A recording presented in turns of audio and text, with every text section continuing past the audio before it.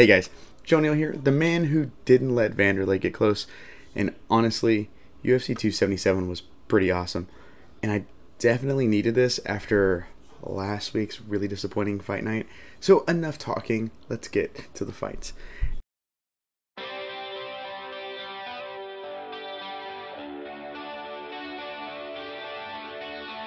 In our main event of UFC 277, we have Julianna Pena versus Amanda Nunes, and this fight was a little interesting, I guess, because this division has been boring for a while, and Pena was like the one real exciting thing happening. Before she beat Nunes, Nunes was just smashing everybody, and Pena talked some smack, kind of made it interesting, and they promoted her decently, and then she won in the second biggest upset I've ever seen. So, I I was kind of interested seeing like what kind of adjustments uh, Nunes would make. Was it a fluke? Is she still, in my opinion, I think, in my personal opinion, I think she's the greatest female fighter ever. Um, like, what's going to happen? And it was a one-sided pounding. It was a smashing. uh, so at the gate, Nunes, you know, the ducking jab was the big weapon that dismantled her in the first fight. You know, kind of it wore her out. The constant pressure and the constant application of it wore her out damaged her, and eventually she was just succumbed to the pressure. So, how does she change it up? What does she do differently? Does she just go to the tried and true tactics against it? Uh, and kind of, she did something a little interesting that I haven't seen in a while, which is she went southpaw and was hand fighting. And basically, anytime Pena tried to use her lead hand to do a ducking jab, she would kind of have to pull her hand away, and then she'd have to almost pull her hand away from Pena hand fighting her, and then would have to try and jab. And every time she pulled her hand away, here comes Pena with a fantastic uh, lead right hand over like a like, like a right overhand or a right hook or even a jab of her own. And so and it was just lighting her up with it. And that's kind of the story of the fight when it comes to the striking. It's kind of how it is. So Pena's pushing forward constantly, getting blasted, getting hurt. In round two, she's dropped three times and in round four she gets a nasty cut or round, excuse me round three she gets a nasty cut on her head. And in round four at the end of it she looks like a horror movie. But she does survive all five rounds after just a lopsided fight and just a brutal display of offense from Nunes. and Pena's tough honestly. Like you know despite the fact that she got thoroughly beaten on the scorecards she's very tough. We really can't take that away from her. Toughness you can't teach. You're born with it. You either got it or you don't and uh, she's got a crazy chin on her because some of the shots were ridiculous. Um, and at the end, I ended up scoring it uh, 50 42 for Nunes. One judge gave it 50 45, another was like 44, another 43. The 45 one, that guy didn't watch the fight. I'm going to be honest. Because uh, it's a pretty one big one sided fight. Um, but it was a fun, brutal affair nonetheless. You know, I'm a good old, I'm a fan of good old fashioned family friendly violence, and this was it for me.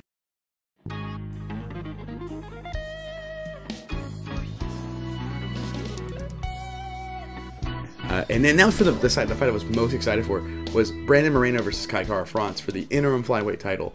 These guys fought years back, and in the first round, Kai Kara-France took the round. Sure, he landed some big shots. The UFC was saying, and Kai Kara-France were saying that he dropped them. I think it was like a slip. Uh, I don't think he dropped them a second time. He definitely landed big shots, but I don't know. Uh, but it was very clear that Moreno dominated rounds two and three. In the striking, which you would expect the grappler the time, mostly known for grappling, Brandon Moreno against the striker, Kai Kara-France. You'd expect the flip of that, right? No, Brandon Moreno took it to him in the striking. It was awesome. And they both improved a lot since then. I, in the preview show, I mentioned that I feel like they both improved a lot. Moreno's improved more. And that's kind of what we saw. First round, tentative. Moreno really had the speed advantage, and he had the length advantage. He was peppering left jabs, good hooks. Anytime Kai tried to commit to anything, a left hook was there, a left jab was there. Second round, Moreno lighting him up even more. And he's really opening up. He's really landing great shots. Good head movement, good footwork. Uh, Kai Kara landing some good kicks to the legs. I'm not trying to take that away, but it was definitely Moreno, all him. Uh, so that's 2 0 for me, for Moreno. Round three, Kai gets a takedown after losing the striking, and he lands some great ground and pound. Uh, some really big shots. Uh, an elbow had a nasty cut here from Moreno and was trying to swell it up a little bit. And you know they get back to the feet, and Kai's having the advantage in the striking now. It's like seems like the you know the damage is okay. Maybe the damage is starting to add on, and it's starting to make him second guess. You know, eventually Moreno kind of got his timing back, kind of got into the rhythm again, and after stuffing another clinch attempt, he throws a massive, brutal left kick to the body, and it's over. You know, some swarming, it's over though. Uh, Moreno is the interim flyweight champ, and personally, I feel like he's the undisputed champ because I don't think he lost that belt. I thought he beat Figgy in the third fight. That's just me. Um, and that's what's next up is the fourth fight. I know a lot of people uh, are going to say that's boring and stale matchmaking for them fighting again. And honestly, I'm down for it though. Uh, and it, while it does sound boring, and I totally understand that opinion, um, I think there's two things to consider. One, that's not the fighter's faults. That's or the promotion's faults. That's the judge's faults for, you know, I, in my opinion, at least. I mean, I don't know. I don't. I don't think I've met one person in maybe maybe there may be like one or two people that gave that scored it for Figgy, but I think most people scored it for Moreno if, if, I, if I remember correctly. Um, and two, we can complain all you want. These are the two best guys in the division. It seems like, and secondly, or like, and lastly, actually, third point, this fourth fight's going to be awesome if it's anything like their other three. So let's get going there.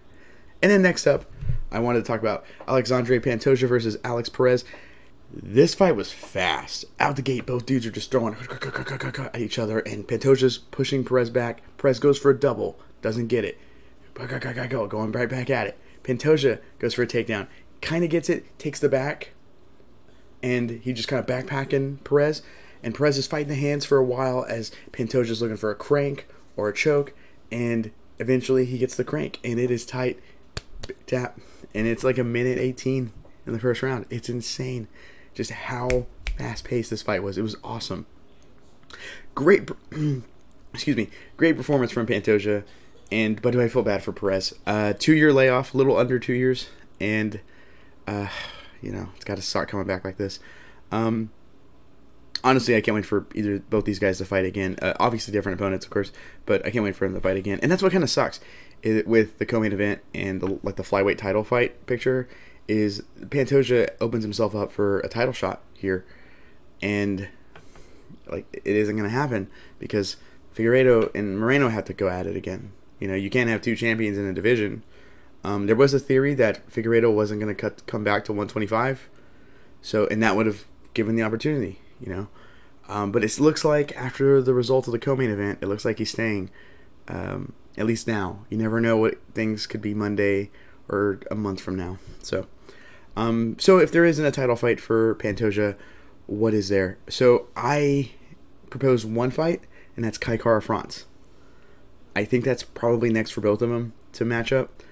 Um, I mean, Askar Askarov was another one I thought of, but they fought in 2020 with Askar Askarov winning a decision, and so it might be too early to ask for another rematch. Uh, but then again, the title's about to have its fourth rematch, or fourth fight between two guys. So you never know. Maybe they'll do it. It's you know.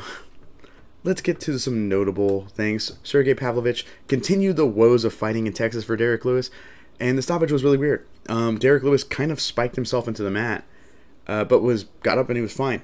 So like I kind of go back and forth on like is that a good stoppage? He did like pile drive himself, but he was fine. I, I, I don't know. Um, so Magomed Ankalaev opened up the main card against Anthony Smith, and he took advantage of a potential ankle break from what accounts I've heard uh, in Anthony Smith that he had in the first round. And in the second round, he stopped him with some pretty nasty ground and pound. And then on the prelims, Drew Dober and Rafael Alves put on a banger of a fight, with Dober getting a beautiful left hand KO to the body. And honestly, one of my favorite KOs this year. Uh, I'm a sucker for body shots. Bas Rutten himself has blessed this card. And uh, then Hamdi, I hope I'm saying this name correctly, but Hamdi Abdel Wahab beat uh, Don'Tale Mayes in a fight that was honestly way better than I had ever expected it to be. Just a great, fun, sloppy heavyweight fight. And this fight was actually, this card was actually pretty solid. Overall, top to bottom, there wasn't like really anything like just egregiously bad on it. It was either like, yeah, it's fine. you know, or oh, okay, like everything was really good top to bottom. As uh, I watched the whole card back to back to back to back today, uh, you know, on kind of a odd Saturday for me. But that's all I have here for the recap show. Uh, I honestly want to talk way more about the Moreno uh, uh, Kai France fight because it was uh, my fight of the night. I think it was the UFC's fight of the night. But I don't want to spend two hours talking about how insane their strikings are and like their kind of battle on the feet. Uh, maybe one day, a Patreon bonus.